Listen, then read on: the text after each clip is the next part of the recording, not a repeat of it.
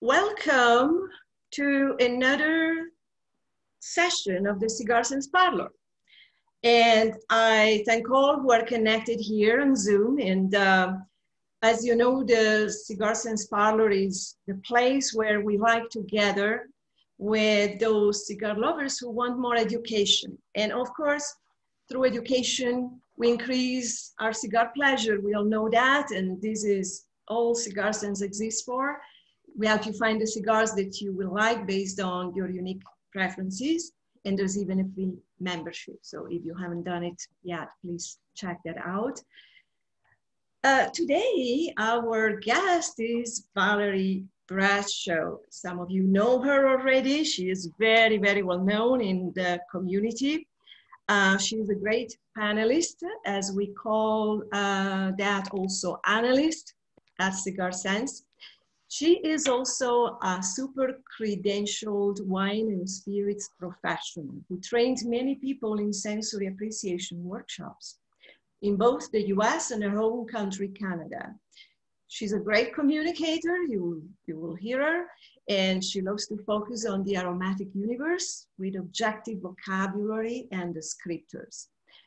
Valerie is, uh, like me, a member of the Society of Sensory Professionals, and has certificates from different olfactory programs.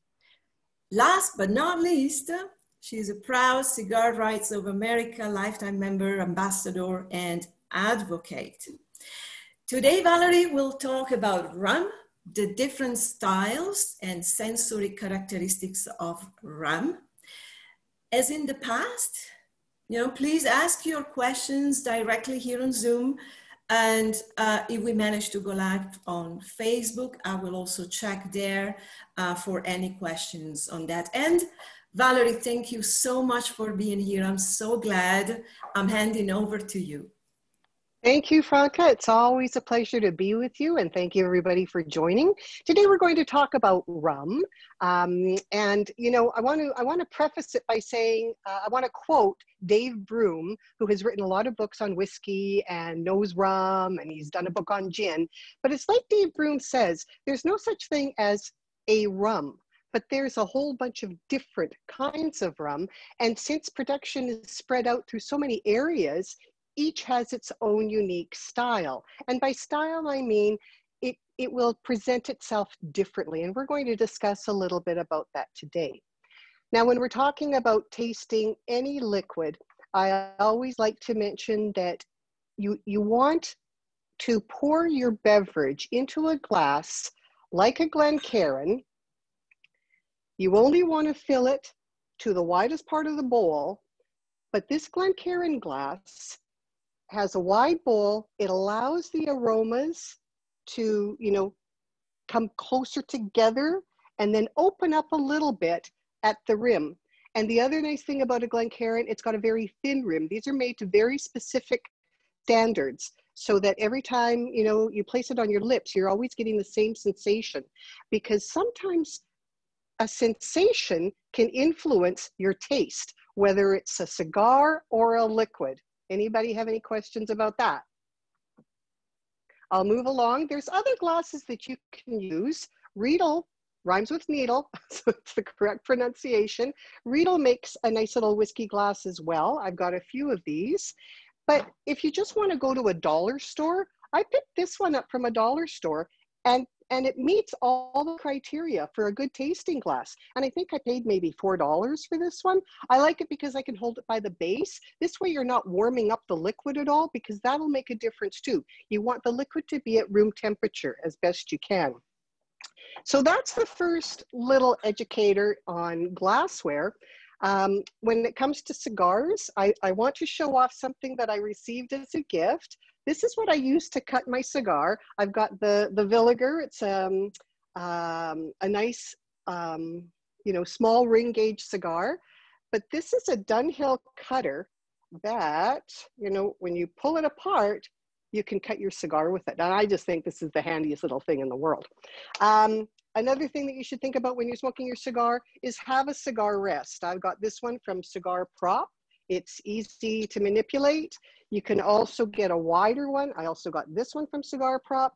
And to go with my Dunhill cutter, I've also got a little Dunhill um, cigar rest. This one's got quite a bit of weight, uh, makes a great gift if you can still find them. So let's get on. Oh, I also want to mention you can either buy Glencairn glasses by the single or you can buy them in a box, a box of six. So if you, you know, if you're somebody who is very social, you like to, you know, drink your rum or your whiskeys with friends, maybe look at spending, I think they're about $55 for a box of six in most markets, but don't quote me on that. So moving along, we're here to talk about rum, and rum can either be light, it can be uh, a golden color, it can be dark. The way rum flavors come across is the manner in which it's distilled. Sometimes it's in a pot still, sometimes it's in a column still, sometimes, most often, it's made from molasses, but there are some that are made from pure cane juice, and we'll talk about those in a little while. Rum used to be a byproduct of sugar because back in the 1800s, sugar was um, uh, a, a, a real commodity, and rum used to be the byproduct. But now rum has become such a premium spirit that sugar's kind of the byproduct in the Caribbean of rum production.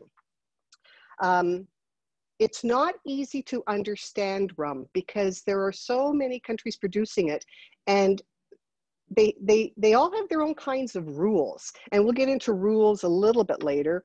Um, but it, it all comes down to if you've got sugar cane chances are you've got rum because it, they just go hand in hand so like i say rum is made uh, was typically made from um, the molasses, when, when you cut down sugar cane, you crush it and you, through the process, the sugar crystals are, are extracted and the molasses, the goopy molasses is left. And it's the molasses that, uh, that, that rum typically is made from and i'm not i'm not going to say always because like i say rum rum varies from region to region. Um, the British found back in you know the 1800s, they found that they really enjoyed rum more than spirits in their in you know in their own area because rum to be transported from the Caribbean had to spend quite a bit of time in cask to get to you know Britain or France uh, to those populations, and so that gave the rum a chance to settle down a little bit. It wasn't as harsh. It, it rounded out the edges that that um, sea trip, um, ocean trip. Canada played a big role in rum um, for a variety of reasons. And uh, for for quite a while, Canada was a country that that did keep rum production afloat. And again, we'll get into that in a little while. You could also say that rum is North America's first spirit because it was distilled along the East Coast, along many areas on the East Coast. But the Caribbean islands that dominated sugar and therefore rum production were Barbados, Jamaica, Haiti, and Cuba. And it was in Santiago, Cuba, that it, rum became industrialized and modernized by the Bacardi family. And this goes back to 1860, 1862 what people liked about the Bacardi rum, it was very light, it was fragrant, it was very easy to drink. And um, it, it, mixed well. It could be a sipper, it could be a mixer. So it, it, it fell into a lot of drinking style categories. Now, there have been a lot of changes in the rum industry, but one of the biggest boosts that rum got was the result of prohibition prohibition took place in around the 20s, you know, in that range of time. And so Americans weren't able to get any uh, liquor legally. Uh, you know, there are stories about the Canadian producers of spirits and, and how that kind of helped the Americans a little bit. But Cuba also opened up their doors and they actually advertised come to Cuba where you can drink rum, you know, frolic on the beaches and just have a great time. And the Americans responded. Cuba became just a, a real destination for a lot of American tourists because they really did want to have, you know, a spirit to drink. They wanted to have fun, a few laughs. And so prohibition really did help rum, just like prohibition and World War One really helped Canadian whiskey. Um, so when when you think about what kind of spirit becomes popular when there's not just you know one activity at play. It's usually the culmination of a whole bunch of different things. And like i say for the for the uh, cubans it was prohibition and it's you know cuba's proximity to the states. Now um, in the late 1800s the americans helped liberate cuba from spain. And uh, this led to the creation of one of the most famous um, cocktails highballs um, ever created um, there was a, a, sailor who decided to add a little bit of a new uh, beverage called Coca Cola to the rum, and it was named a Cuba Libre, liberate Cuba, free Cuba. And um, today, uh, who who hasn't heard of a, of a Cuba Libre, right? And it's very easy easy to make. Um, you basically, you know, you take your glass, you take your rum, pour it in, add a little bit. Oh, you know what? I did that backwards. You should actually add ice first because there's some purists who believe that if you add ice after you add the spirit, then you're bruising the alcohol. You're bruising the spirit, which I find I find kind of funny, but if that's what they want to believe, then let them believe that. Um, you add your little bit of Coca-Cola, mix it in there, and then of course you add a little bit of lime, and it's got to have some lime for sure. Now the thing is, a Cuba Libre is a very refreshing drink, but I caution against using a drink like that with a cigar pairing if you're doing the, the cigar for an assessment because I can smell that lime. And that lime will always be in your brain as you're smoking your cigar. You don't smell the coke so much, but you definitely smell, smell the lime. So it's very refreshing. Use it as a social beverage, but I don't recommend using it if you're actually trying to do an assessment or, or a technical kind of pairing of a beverage with, um, with a cigar. So uh, any questions before I go on? I was just seeing Edson laughing as you were explaining about the Cuba Libre. Edson, would you like to add something? okay, you're fine. All right. Okay. So, in terms of production, the most important thing to remember, like tobacco, um, rum is an agricultural, um, sugarcane is an agricultural product and it can be affected by any number of things uh, during the course of the of the harvest and and the growing season. So you know the cane variety plays a role soil that it's grown in plays a role uh, climate weather all of these things can make a difference. You know when you ask a, a, a cigar maker um, a tobacco a, a tobacco farmer you know to, to bring it down to its simplest not simplest terms of its basic terms the thing that keeps them up at night is weather uh, weather can can can bring all kinds of problems. You know, there there can be drought, there can be too much rain, there can be hurricanes. Um, hurricanes, for instance, were responsible for uh, uh, spreading um, the blue mold, that sort of thing. It, it, it's it's shocking what weather can do. Um, so it's important to always kind of you know be generous in our thoughts when it comes to any kind of agri- agricultural product, because there are certain things that are out of a, that are out of the producer's control, and weather is is is you know the biggest one by far. Um, so all of these things influence um, uh, cane production, sugar cane production, some countries have, have a chance to recover, like for instance, Guyana, South America countries, South American countries, they can have two crops per year.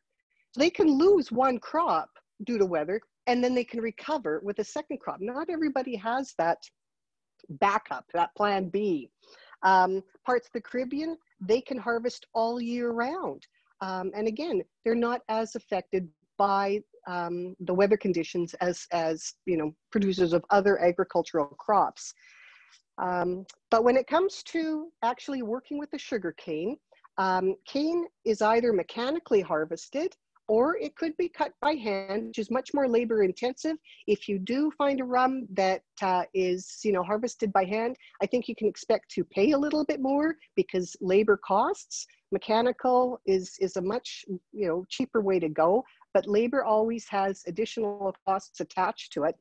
The other thing with sugarcane is when it's cut, it has to make it to the mill as soon as possible because as soon as it's cut, the sucrose levels start to go down. And, and there's, there's a lot of uh, products in the world that are affected by timing. For instance, Chanel number five, they use the Rose de Mai. They have to harvest it basically before sunrise because that Rose de Mai is very delicate and they've got to get it to the perfume factory to extract the essential oils. Same thing with sugarcane. You've got to get it to the mill quickly. And so uh, speed is of the essence when it comes to rum production. So uh, the process for sugarcane is uh, um, you cut it from the field, you take it to the mill where it's crushed, the juice is extracted, the syrup is procured, and that syrup is boiled until crystals are formed and then what is left, the thick black residue that's left after the sugar crystals are removed, is the stuff known as molasses. And this is the raw material that um, rum is made from. On average, 2.5 uh, kilograms of molasses will give you one liter of rum at about 57 alcohol by volume, ABV. So really, you know, you, you do need quite a bit to get that kind of yield when it comes to bottles of, of rum. So fermentation, molasses, they're very, very high in sugars. Yeast can't live in, there's gotta be a, a yeast is, is a kind of a delicate thing. There's gotta be a certain um, uh, cohesion, a certain balance. So before they ferment, they dilute the molasses with water and the more the molasses are diluted, the lighter the rum believe it or not. That's one of the things that uh, as, as you study rum, uh, you learn. Now, the thing too is I'd like to mention at this point, the education that I have is through Wine and Spirit Education Trust, uh, WSET. It's considered the gold standard in wine and spirit education. And I'm very proud to always wear my WSET pin right with my Cigar Rights of America pin. And thank you very much. Um, yes, thank you, Franca, uh, for mentioning Cigar Rights of America. It's really important that um, cigar smokers join Cigars America, they're a lobbying group. They've had some, you know, they, they and the um, Premium Cigar Association have had some great successes in the last little while. Um, things that are facing legislation concerning cigars. So, you know, CRA, join Cigars of America, but also vote. You've got to, you know, I can't say you've got to. You can't tell anybody what to do.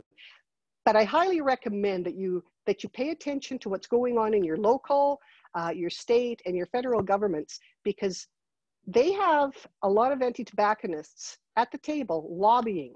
And we as cigar smokers have to also consider stepping up.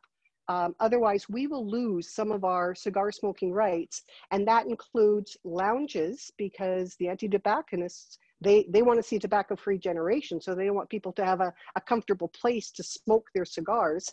And in Canada, for instance, we've also got plain packaging. So this is the kind of tube that if you don't fight for the rights of cigars, this is the kind of tube your premium cigars will show up in if it's got a tube. If it doesn't have a tube, it's going to have a label in those same colors. Not good. And that's what we're faced with in Canada. We've got plain packaging here, and we're not that, you know, we're just across the border from the United States. Let's hope it doesn't happen there. Thank okay. you for mentioning this, uh, Valerie. And I, uh, um, I would like to add, actually, help educate your politicians because there's a lot of scientific evidence that we can use to keep, uh, you know, uh, ongoing the effort of educating politicians to understand what premium cigars are and why they're different from any any other tobacco products. So absolutely. close the parentheses. Full circle. Yeah. Cigars are meditation. And uh, we all know that that's true. They're, they're good for our health. So back to rum. We talked about molasses being diluted with water. Yeast is then added and um, there are rum producers, just like there's bourbon producers, who have their own strains of yeast. They have found the yeast that's right. Very few places use indigenous yeast because indigenous yeast is kind of a wild yeast So you never know what's going to happen with that yeast. Whereas if you use your own strain of yeast that you know you've, you've carried on for decades, it's very predictable. You know what's going to happen when the yeast hits whatever you want it to feed on. So um, uh, yeast is a fascinating topic because yeast can, can do a lot of things. It can add aromas. It, it just can do a lot of things, but that's a topic for a, a you know another time. Okay, so light rums are distilled in column stills, a single column, a Coffey still, or a continuous still. Um, larger producers use multiple linked column stills. They've got to pump out a lot of rum. People, people love rum, and, and it's a big export for these countries.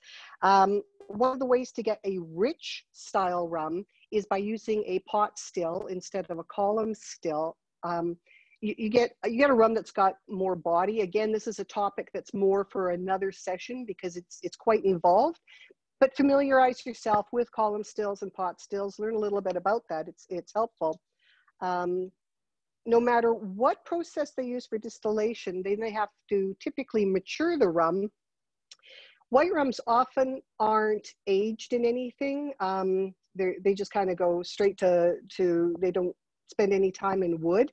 But some producers do put their, um, their distillate into oak it gives it a little bit of a different composition.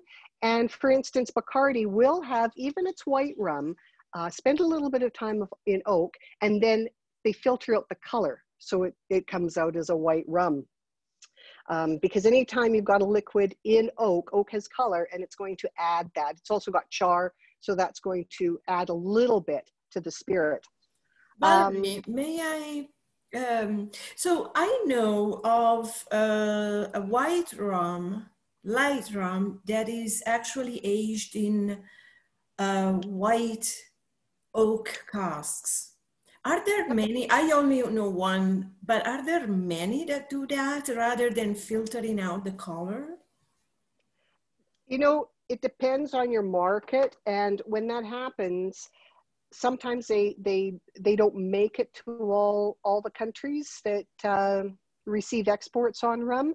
But yeah, there there are different uh, producers who choose different styles of aging for their rum, different times, different wood. Um, uh, American oak is different than French oak, for instance. Some use French, some use American. Um, and you know, while we're on American oak, let's let's talk about this. Um, when you put any liquid in a barrel, there's going to be an exchange of oxygen. That's that's what aging is. You you can't just put an um, an, an oak stave into a bottle, put the cap on into a glass bottle, put a cap on, seal it that way.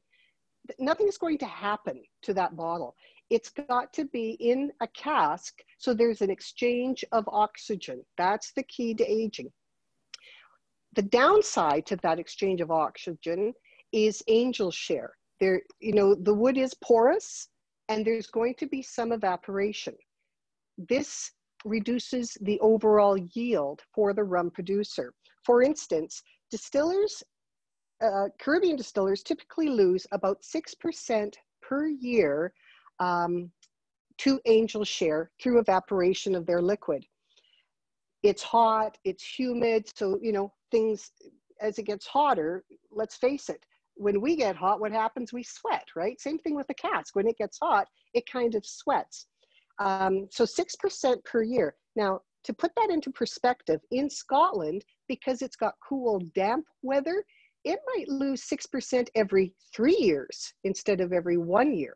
So Caribbean distillers, they, they go to different tactics to try to um, reduce that evaporation. When I was in Nicaragua, for instance, I visited the Flor de Caña um, facility and they use uh, plantain leaves. They wrap their casks in plantain leaves because that helps keep things um, in the barrel a little bit longer. Um, not by much, but enough to make a difference. It's very, very hard for a rum producer to get to 25 years.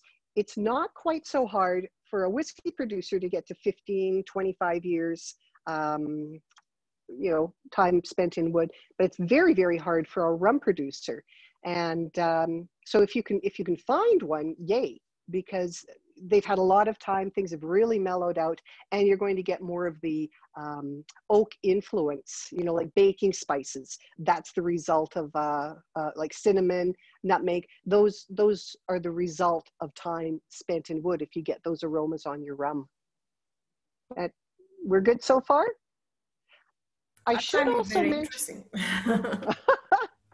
well let's let's stick to the to the to the cask issue a little bit because part of the reason um, most distillers use American bourbon casks, uh, ex bourbon, American oak ex bourbon casks, is a law that was introduced many, many years ago. Bourbon producers are only able to use their cask once. They're, you know, they, they have to keep it for three years, or they could keep it for five ten or 15, whatever.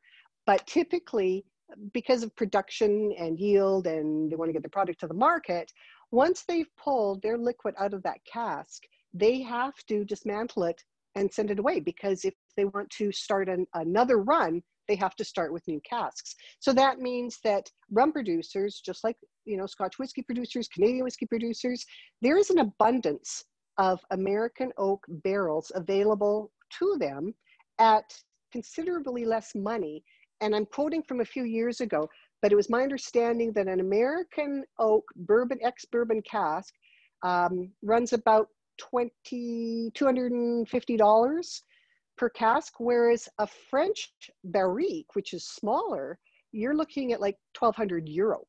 So, uh, and you know, those prices might have changed. This is, you know, information that I received a few years ago, but there is a significant difference between American oak casks and a French barrique in terms of cost. Yeah.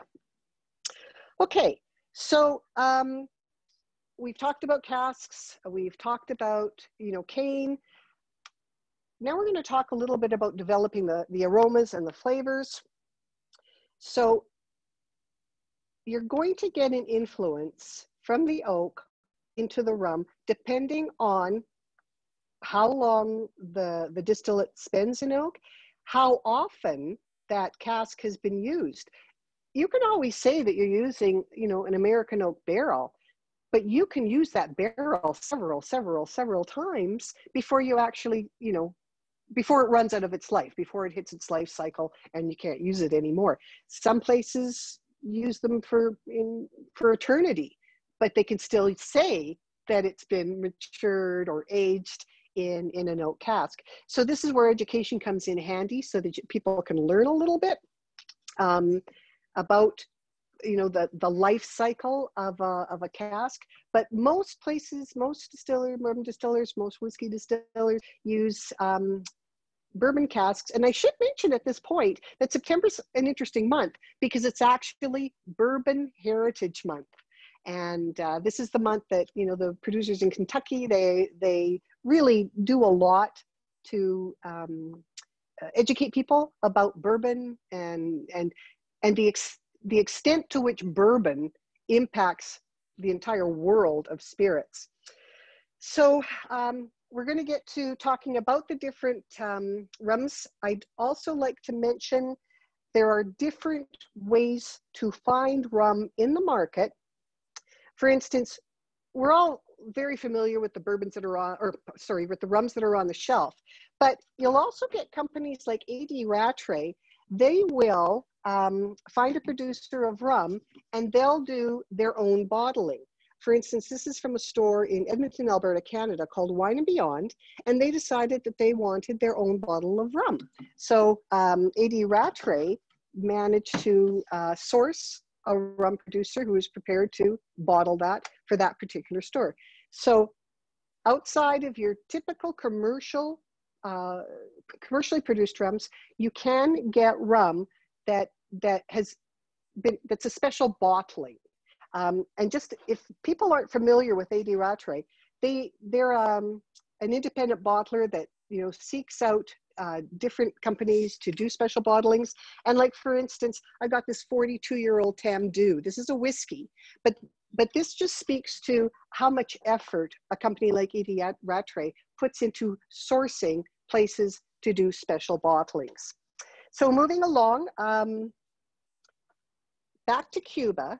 Cuba created basically Bacardi uh, until they had to move out of Cuba, like like everybody else. Let's face it, everybody no nobody's surprised to hear, and it, and it's a shame that a lot of these companies that company managed to do a style of rum that was very well received and it's kind of considered the latin america style of rum it's very light uh, it's very easy to drink and a lot of the uh, caribbean countries islands followed that style of rum for instance nicaragua their flor de caña they've gotten a latin american style of rum uh, dominican republic has the brugal uh, guatemala does zacapa uh, even US Virgin Islands with their Cruzan. So this is where we're going to start looking at the different rums from the different producers. So Bacardi, they do so many different rums, but I was able to find this one in our market and it's the Limitada. Um, this one runs you 130, 150 maybe in my market, but this should be a very nice sipping rum a lot of rums are made uh, for mixing, but if you're looking for a sipping rum, try to, you know, seek this one out. It will be the light style.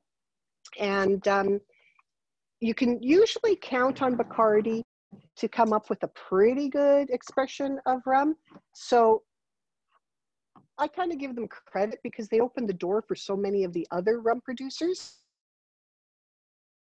Uh, that is their symbol, and that comes from um, Mrs. Bacardi, who uh, felt that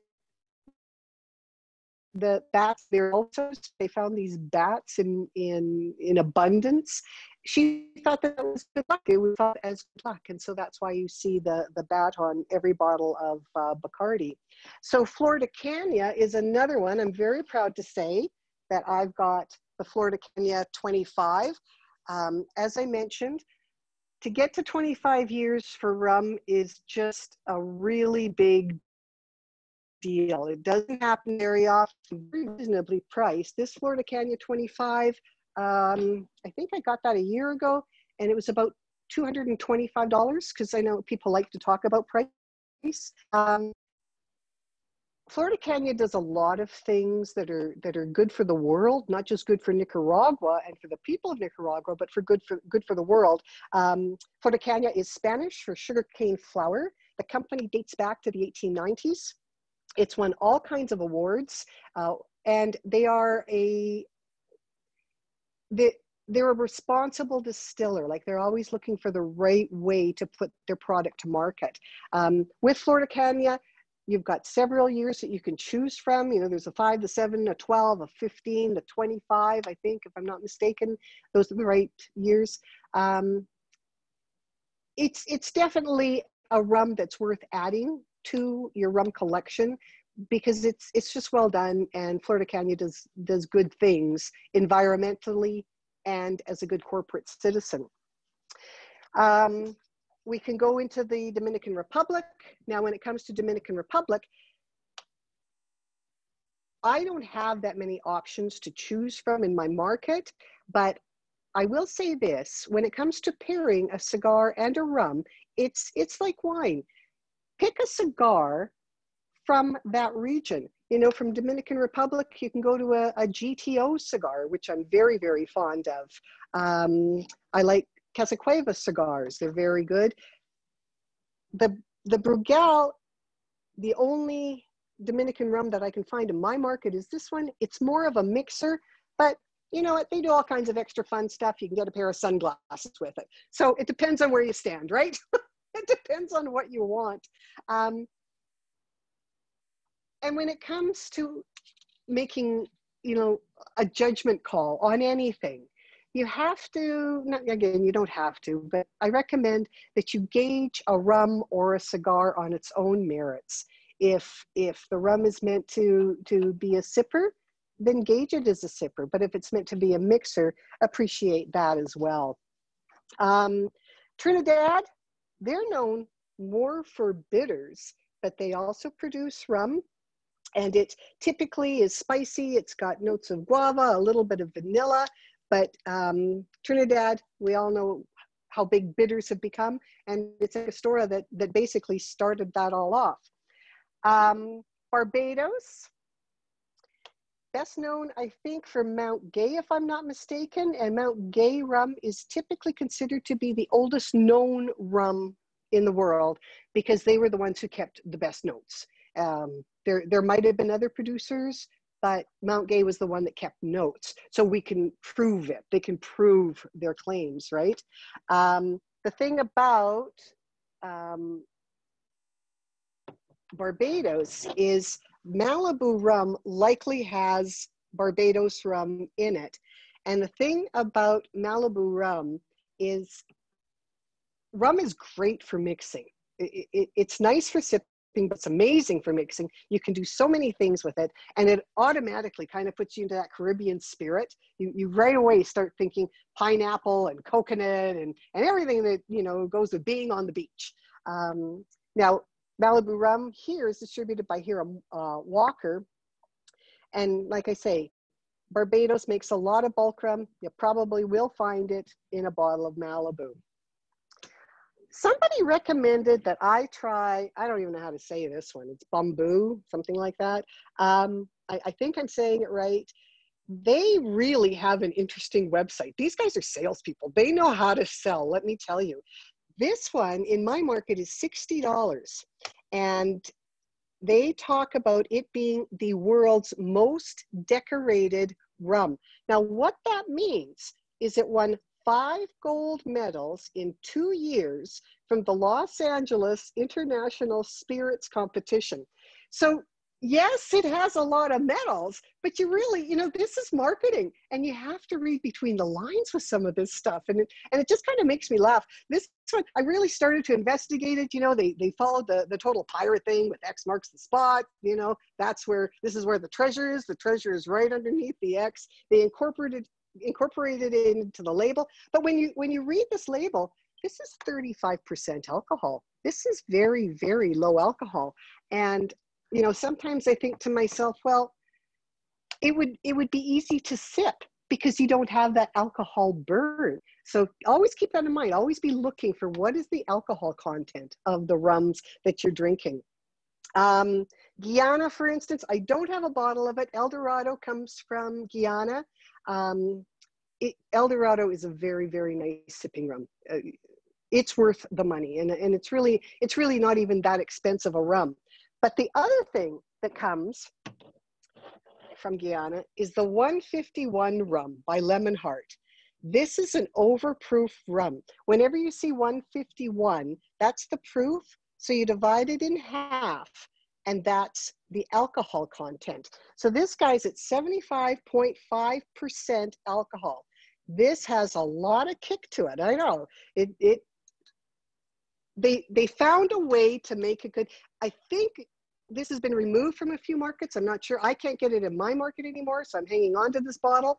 But this is where the Caribou Lou came from. I made a Caribou Lou cocktail. So you've got the the um, Lemon Hart 151 rum with some Malibu and some pineapple juice.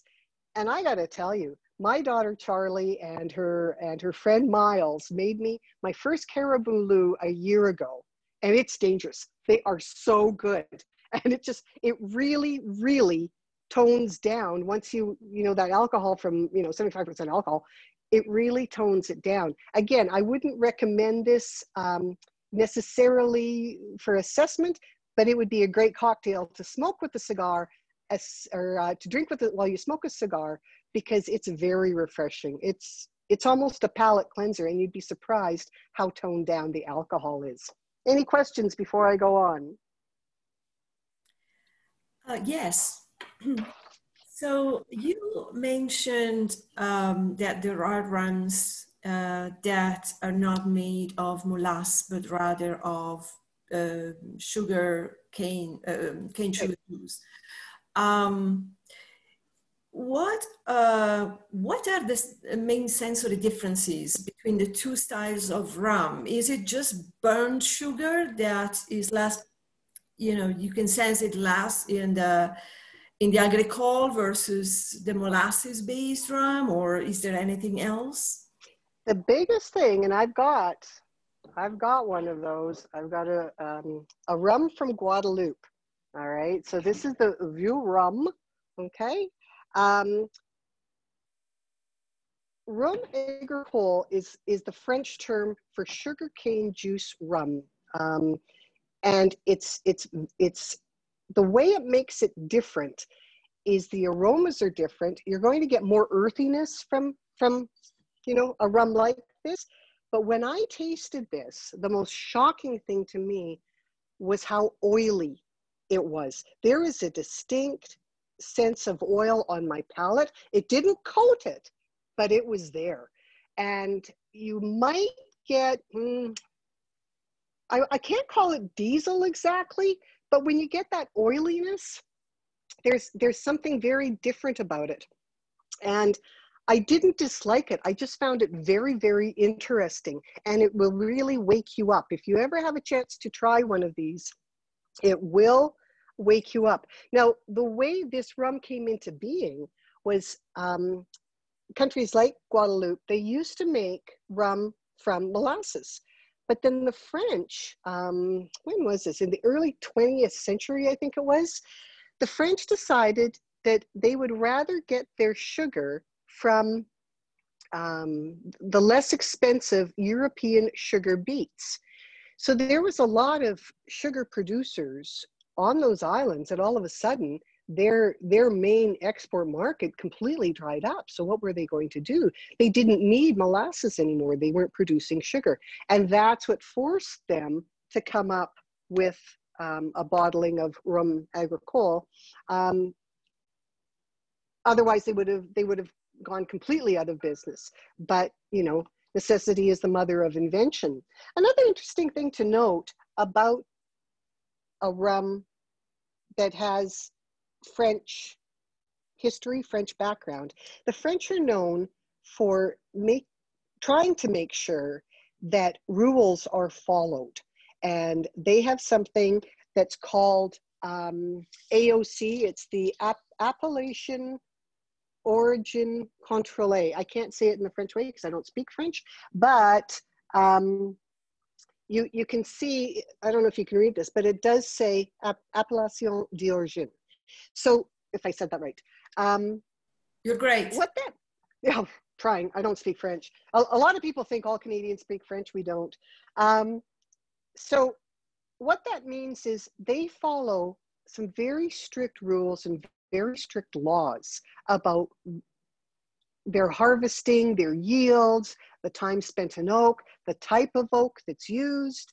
Um, really, when, when you're thinking about a quality rum, Flor de Caña is a quality rum because of its dedication to the environment and to its community.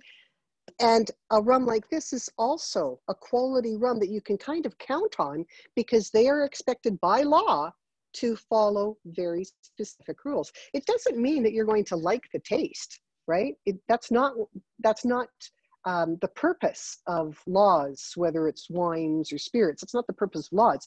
The purpose of laws is to make sure nobody breaks the rules.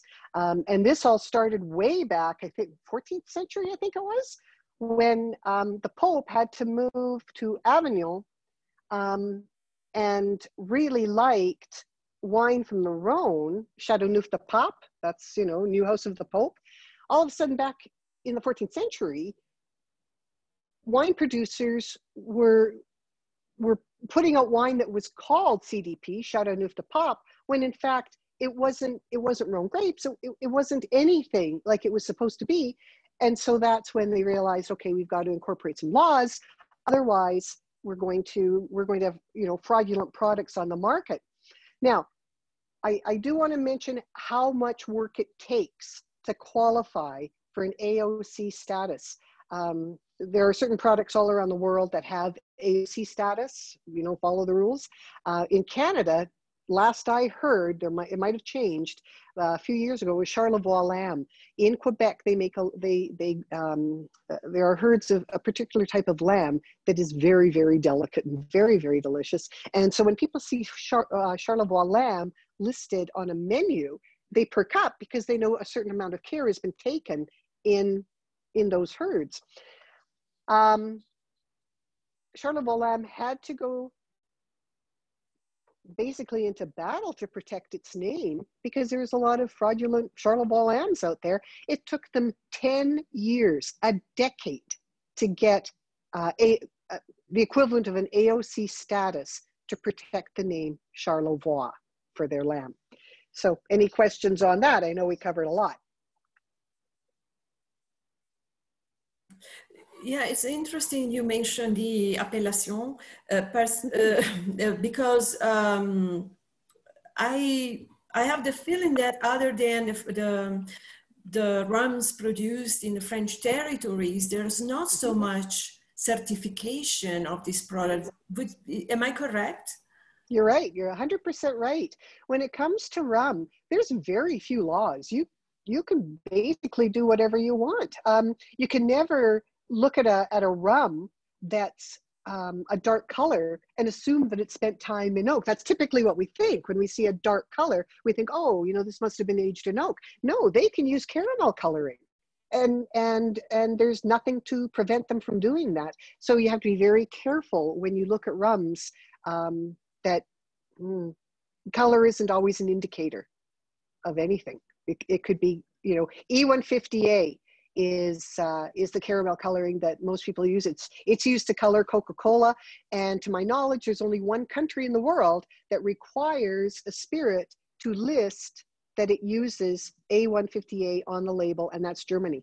Germany expects it to be listed. Anybody else, they can they can do whatever you want. That's why often you'll see spirits in a dark bottle because they people people like the idea of dark right? They, they think it's, it's going to give them something more. Um, you know, I, I bought this a few years ago. This is, ah, this is Rum's Revenge. Uh, again, it's about a $250 box, but it gives you, you know, 12 different rums to try. And which one was it? There was one that was 17 years. Oh, I can't find it now. Darn it. Like this is a 19, uh, a 19 year old rum, it's not that dark for 19 years. And there was another one, an AD Rattray. Where did I put that one? 17 years. Here it is. This is a Trinidad rum, 17 years, and it's as clear as can be, you know, for rum, right? That, that has seen 17 years. So, you know, color, it, it can be, it can be influenced by time spent in oak. Helpful? Yeah, very helpful. Thank you. Yes, indeed. Uh, so I always ask myself, so there is also this belief that light rums are for easy drinking. They're normally used in cocktails versus darker rums are for, you call it sipping, right?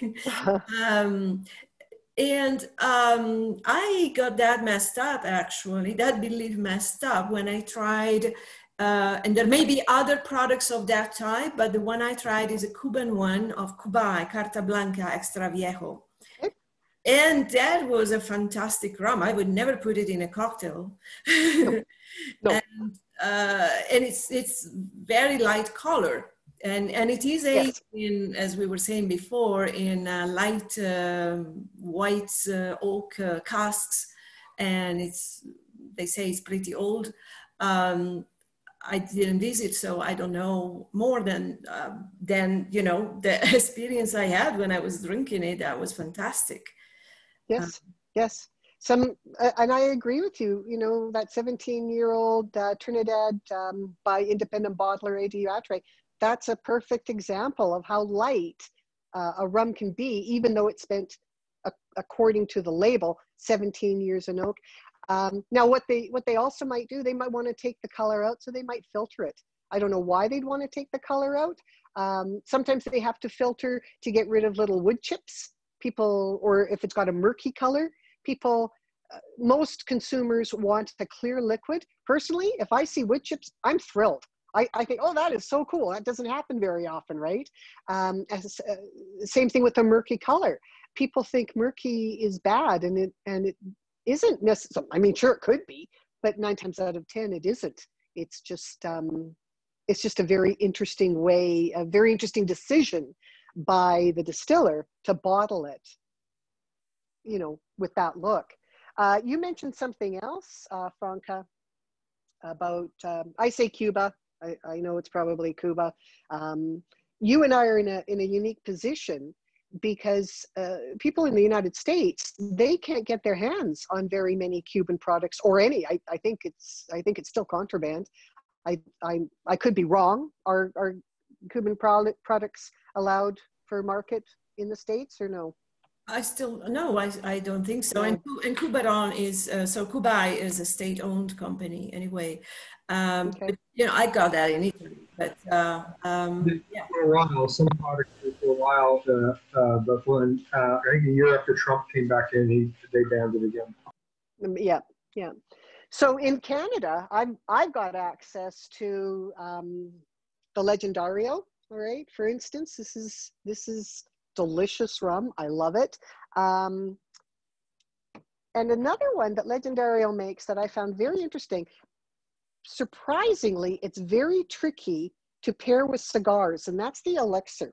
Um, I have tried pairing this with cigars. It's a 35% alcohol rum.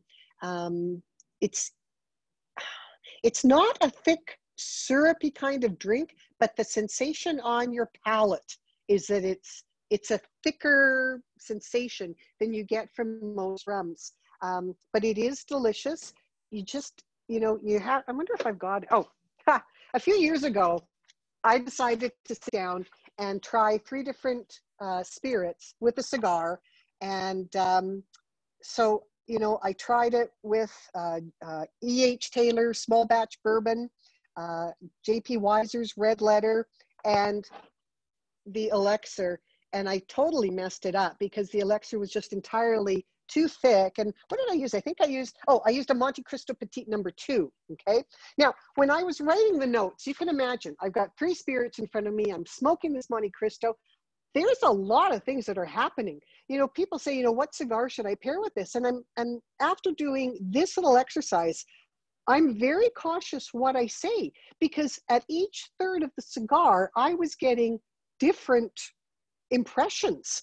And and from each of the beverages for each third it was it was multiplying the differences in impressions. So i'm taking all these notes and you know i printed this off and and when i looked at it i thought three pages of eight and a half by 11 who's going to read this you know like and and this had pictures and i was thinking oh don't ever do that again because you know who's going to read it? It's just it's too much too many words but it was a very interesting experiment and like i say by the end of something like that i'm pretty much blottoed because you're you're taking in a lot of different liquids. But i would say waste a day and a half because it's such a fun experiment. You will learn so much about yourself you will learn so much about spirits and you will learn so much about cigars. I, I did it twice and like i said it just it killed me for a couple of days after because it's it's a lot of alcohol consumption but I wasn't drinking. I was learning. It was, you know, all for the sake of education. Um, through it all, each time I included a Canadian whiskey. I got to admit, Canadian whiskey gives rum a run for its money when it comes to pairing with cigars. It really, really does. Canadian whiskey typically has a sweetness, just like rum does. The nice thing is, when it comes to rum, it's pretty tough to find a sipping rum that's pretty high in alcohol Whereas Canadian whiskey, you can actually kind of get that job done a little bit, 43, 47%. Um, so I like the body that the higher alcohol gives. Um, but getting back to the Cuban rums, um, for our international listeners, um, I was lucky enough to get uh, eight of the 2000s. My daughter gave me this as a gift, and these are a fascinating cigar that would go very, very well with um, this nine year Legendario. The other thing that I liked about what Legendario did is they came out with a little um, spec sheet. And, you know, normally they give us, you know, the tasting notes, the aroma notes, blah, blah, blah. But what I really, really liked about this one is they talked about pairing with food. And I think more rum manufacturers need to consider pairing with food. Not everybody wants wine with their food. Rum is a great pair, like they say, with fresh fish that's simply bronzed in the frying pan. Keep that in mind. Fish is very, very hard to pair when it comes to wine. Um, Pinot Noir works with salmon, and then after that, it kind of falls off. So don't use wine if you're having fish.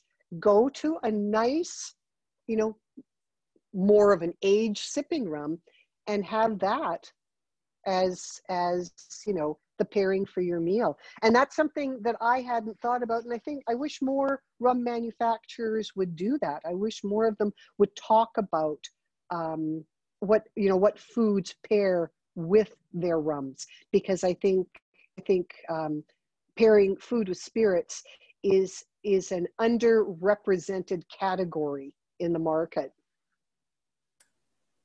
awesome. questions so guys, uh, we don't want it to make it a dialogue between Valerie and myself, right? Don't you have any questions on rum? Such a great thing. You're doing such a good job, Franca. oh, yeah, she's great. She she definitely. I'm so thankful because you're sharing so much great knowledge. There's a rum I tried um, a while back, and it was only available, I think, in Rhode Island. Um, and uh, apparently and Rhode Island was once like the rum capital of the world back in like the 1600s or so.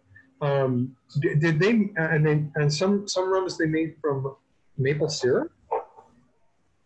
Oh, that's a new one to me. And I'm Canadian. I mean, Canada's kind of one of the, the maple syrup capitals of the world, right? Um, but I'll I'll investigate that. Tell me about it. it that sounds interesting. Yeah, the rum itself. This rum, I don't think it was made sure that there were some when I was up there.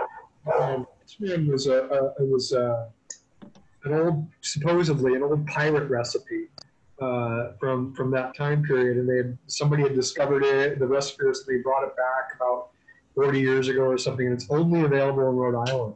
And it was it was not it, some it wasn't a famous pirate's name, but maybe famous for Rhode Island. but it was really good. I really enjoyed it. It was really flavorful. Yeah, when when you can find those gems, you know, you, you kind of wish that you, you bought a case because yeah, they only had like one bottle in the shop, so I had to grab the last one. You know. Good for you. Good for you. Um, and and it's and it's fun to share that information. That's why I always preface these classes with, "I live in a community. You've got 200 people here. We only just got privatized liquor stores, like in the last I don't know, maybe five years." Prior to that, it was government, and, and government is only interested in margins. They're not interested in different. and you know what you just described is very different. And gee, I wish you'd saved me a, a sample. I would have loved to have tried that. But yeah, wherever there's sugar, there's going to be rum. You know, any kind of a sugar. But uh, but I'll I'll keep my eye open. If I find one, I'll let you know when if, if I find anything from maple syrup. The one the one I was talking about was Thomas Tew. T E W. Oh, really? Yeah. No, I've I've not heard of that one. But like you say, there was one bottle on the East Coast. But and you're absolutely right. Um, I, yeah, I mentioned that like at the beginning is that rum really could be considered North America's first distilled spirit because it goes back to like the 1600s and there was distilleries all along the eastern seaboard making rum. Uh, and I mean, it makes sense because uh, the the the quickest way and the only way to travel is by ship and so you know that eastern seaboard had a, had a great deal of influence hello valerie hi hello franca um, i just have one question uh, following on your on your on your comment about pairing uh, food with, with rum right uh, i'd like i'd like to ask you a question, which would be, uh, how would you pair the, the, the rum with food? Would it be neat? Would it be in a cocktail? Because, for example, me, I have a, I have a lot of issues pairing, let's say, whiskeys or rums neat because they're quite strong, and I tend to have big sips. So, uh, I tend to get uh, knocked out before I even finish the cigar or even finish the glass of, of rum. So the question is, uh, you advise to pair cigars with rum neat, and even if we pair with cocktails, are we losing the essence of the rum? What is your opinion on that? There's a couple of things when it comes to cocktails. You're absolutely right. You're gonna you're gonna lose some of the essence of the rum by making it into a cocktail um, because quite often what you're mixing it with has has a stronger identity like pineapple juice that's a very strong identity juice as soon as i say pineapple you know you're tasting it in your head um, so what i what i'll do if i've you know if i've got a glass of rum and i want to make this dram last an entire meal i take I, I, te- I remind myself, no matter how much I love it, to take small sips. And I will also swish it around in my mouth. That buys time, right? That does two things. It buys you time by swishing it around your mouth. It also activates your saliva.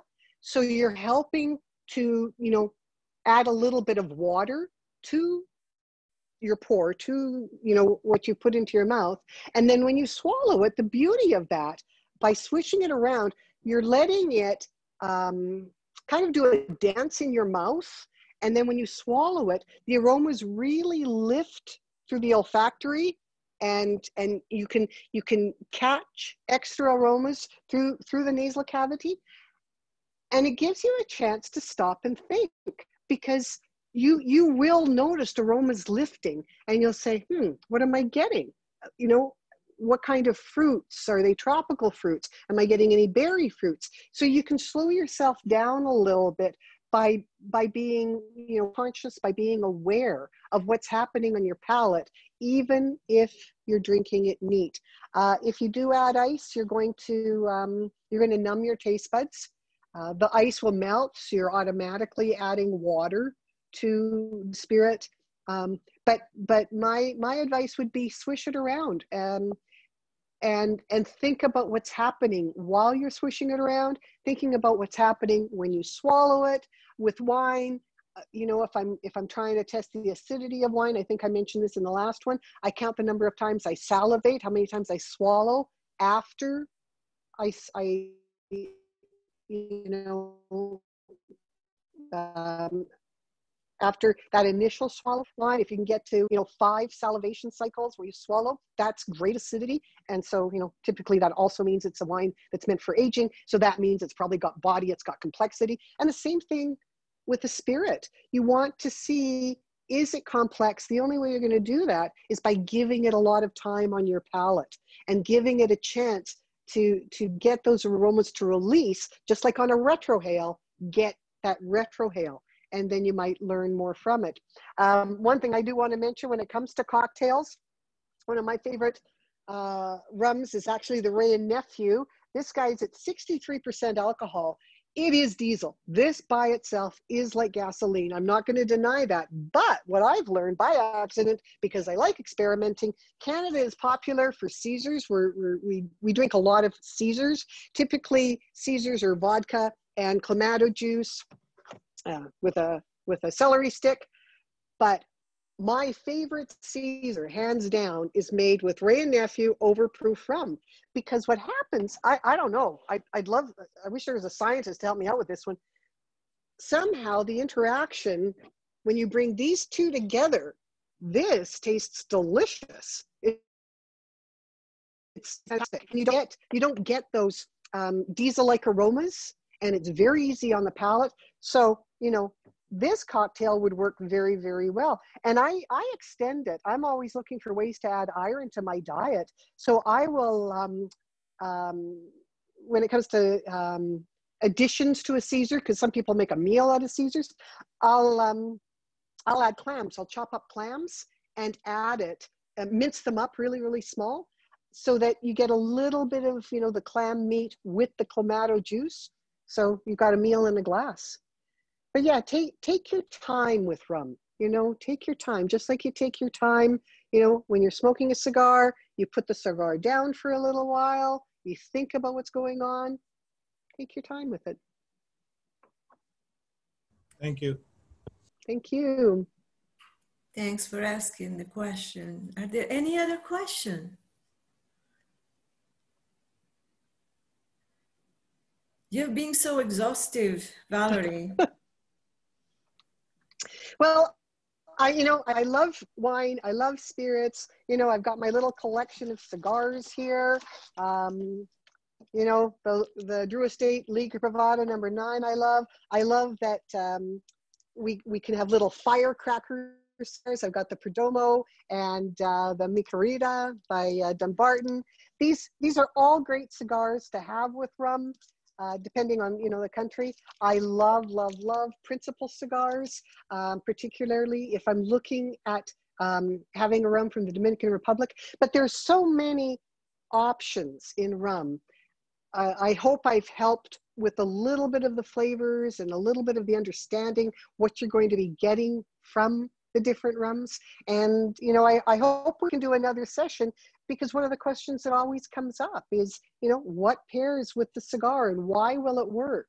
Um, and, and to understand that, you have to understand like, how was that spirit aged? Was it in a French cask? Was it in a, a bourbon cask? Um, and I mean, like I say, it's Bourbon Heritage Month.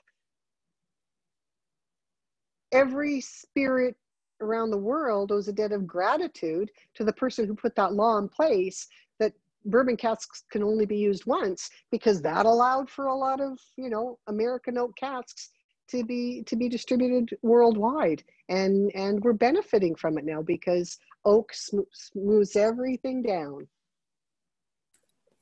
Yeah. Yeah no that's great. Yeah there would be so many uh, other topics we could cover but also indeed um, where to pay attention to when we want to design our own pairings. Uh, that's a great topic indeed. Does anybody else um, have any suggestions for other topics that we could cover? Of course, we have ideas, but we'd like to know from you. You can also email me, of course. Um, yeah, and when it is about pairing, of course, uh, there's always this notion of personal preferences. Yeah, so that's why we have a nice search uh, feature in Cigar Sense that really helps you. You start from the cigar, um, and you know you you really are looking at the particular taste. Like, do I want something creamy, something sweet, something savory. And then based on that and based on what you know of the spirit, you can much more easily pair and have a better experience, even if it's the first time you smoke the cigar. So yeah, the personal preference always plays a big role, but uh, knowing the spirits and the products that we pair the cigars with is also very important.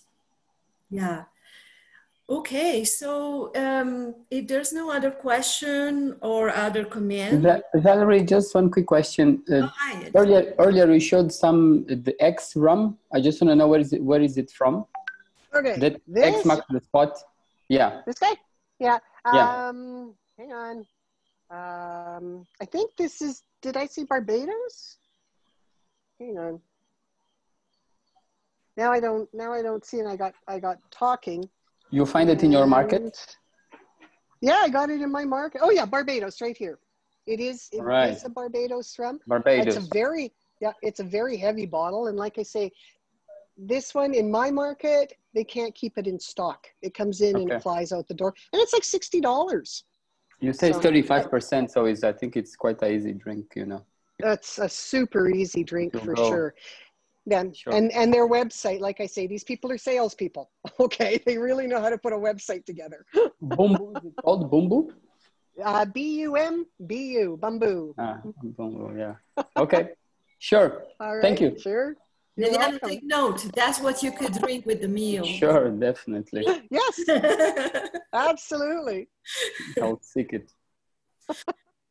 Good. Um, we have a, Mark, do you want to ask your question directly? Uh, can you hear me? Yeah, we can hear you. Okay.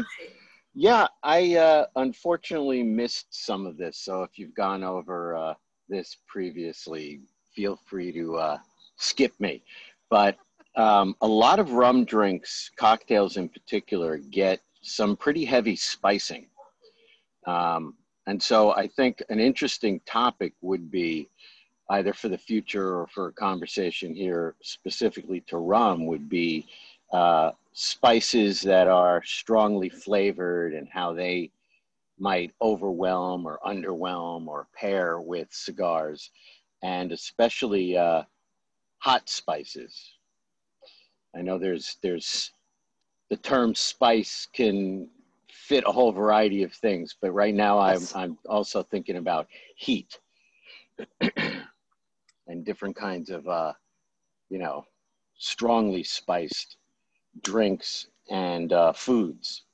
I think would be a really interesting conversation for maybe what countries, what kinds of tobaccos, uh, what extent of fermentation, what strengths go well from a cigar with, you know, at least family of spices, perhaps. You know, Mark, did you follow uh, Constantine's session of uh, two weeks ago? Yes. I, I'm not sure if he would agree with me, but my intuitive answer to, to, to this is the more you eat spicy, the more you drink hot as you defined it, the more you numb your receptors. So at the end, the cigar doesn't matter anymore. yeah. You can smoke whatever. you, well, I, that's the case when you smoke the brand and the packaging rather than the actual cigar. Right. Well, I have a, I have a whole crew of people who really love the food and the cigar tends to be secondary to that. And so, you know, barbecues or spicy uh, drinks, there's a lot of uh, Asian uh, influences in, in my group. I've spent a lot of time in Asia and all of that. And so trying to get those people turned on to the finer nuances of cigars has been a real challenge. Yeah. So, um, yeah. yes I don't know. I, I, have not been successful with separating them and saying, you know, let's let's have a cigar before we have food. Yeah. Before we, you know, mess up our palates and try something more delicate or whatnot. Um, so that's part of my part of my uh, my curiosity here is how to get to those people. Yeah, no, and it's very interesting because you cannot easily change those tastes that are really so much eradicated into the culture yeah, it's very interesting. But um, I'm curious to hear what Valerie thinks about this. You know, luckily we've got Cigar Sense because it is it is a vast library of documented tasting notes um, that the assessors have been able to um, uh, you know ex- extract from smoking cigars and I know in my own experience as an assessor, and I'm smoking the cigars blind, so the, so there's no influence. Do I like the producer or don't I like the producer? Has the producer been kind and generous to me? You know that that does tend to come into play. Um, but because we're smoking the cigars blind, there there has been many many times where I have been very surprised at at the descriptors that I've gotten out of a cigar. And not only that, you know, you're talking about the spiciness. Um, there are some cigars that really create salivation in in your mouth while you're smoking them. Not all of them, but I I started to measure, and I, and I mean, you know what? Let me let me back this up because I don't want to gross you out. But I almost always have a spit cup with me, okay? So that if I'm if I'm tasting something and either I don't want to drink a lot or I take a sip.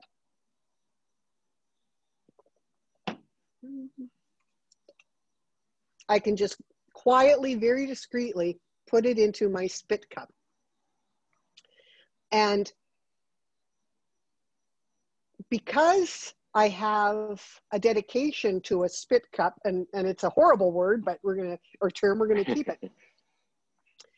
I was, I was, it actually came in handy because I was smoking, um, you know, a cigar sense, you know, cigar blind, and I was shocked at how much salivation was going on.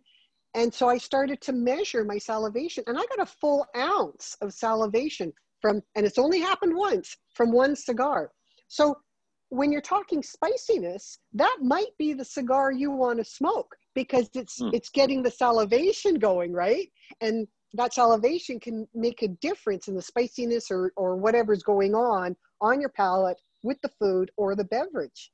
So, you know, we do have a library of tasting notes and, you know, we can look at that stuff critically, you know, use critical thinking to to bring together a second library of okay because this cigar has these characteristics there's a very good chance that it'll work with you know either spicy food or sweet food or you know whatever kind of food you want.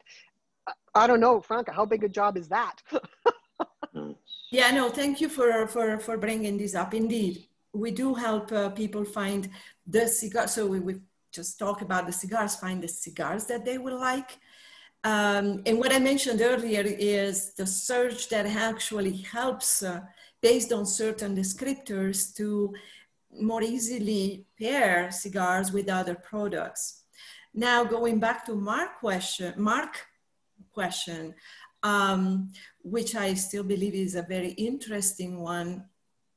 Um, it's true, there is this um, sensory um, uh, conformity that gets created. The more you eat spicy food, the less you will be sensitive. So your threshold changes.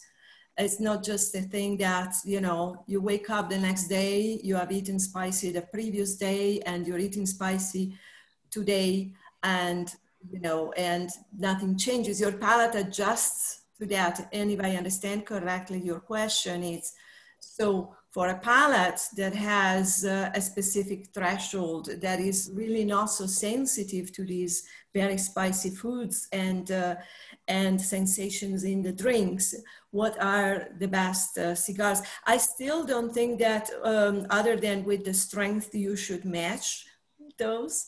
It really depends again on the personal preference um, and on the other characteristics that are not the spiciness not the and not the um, the the hot the temperature uh, the, the the sensation of the temperature uh, when smoking the cigar that uh, might tell. But maybe you want to pair with based on uh, tastes and aromas.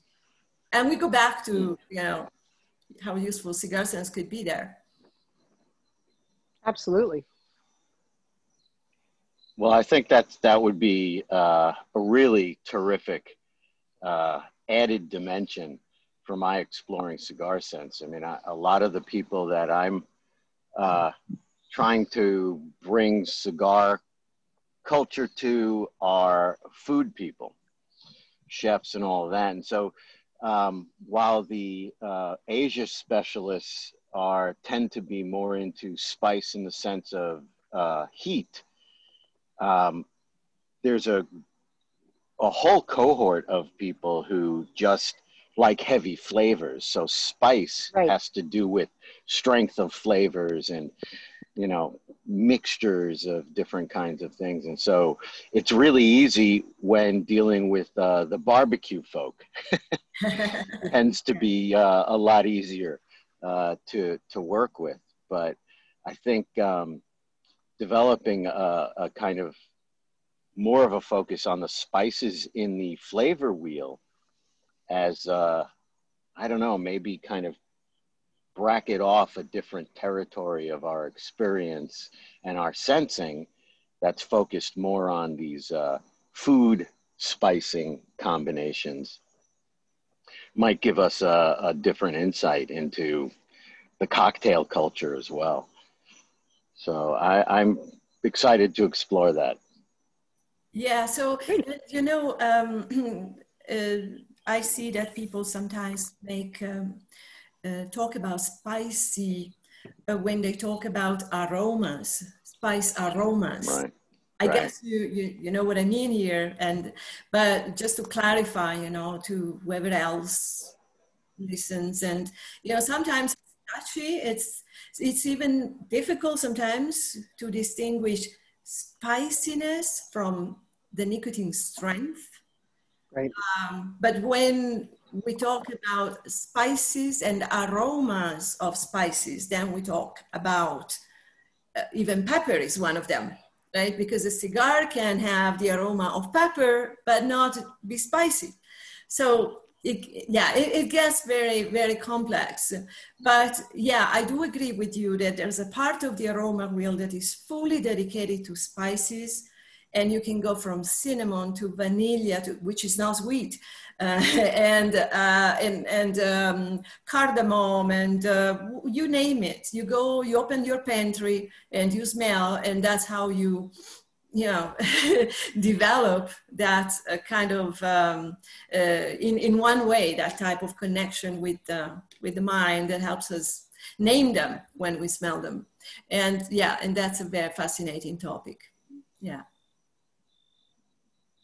now i i know um, like he just said there's a lot of folks that like to um, pair their cigars and their spirits with food. I know one manufacturer that they do it pretty well.